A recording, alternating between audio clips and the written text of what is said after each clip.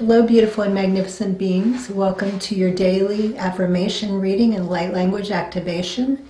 And today's card reads The presence of love will always cast out fear. Hashanu ata Had amazing day.